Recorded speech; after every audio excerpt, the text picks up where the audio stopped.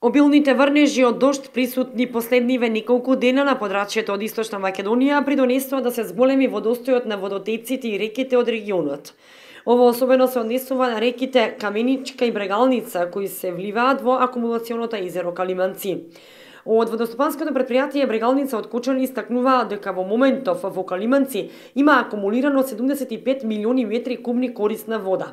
Зголемувањето на количините на вода според денешните утрински мерења изнесува 11 метри кубни вода во секунда.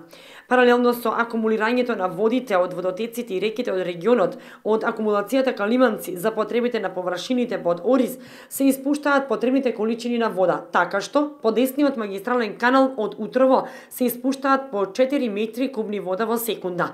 Вака намалените количини на вода се испуштаат од причина што земјоделците во голем дел од површините под ориз го вршат праскањето против плевелите и другите штетници кај оризовата билка.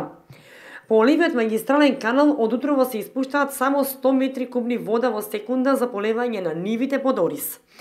Од водостопанство Брегалница истакнуваат расположливите количини на корисна вода во акумулацијата Калиманци од 75 милиони метри кубни ќе бидат доволни за успешно завршување на наводителната сезона кај ризовата култура и во најсушните денови од летото.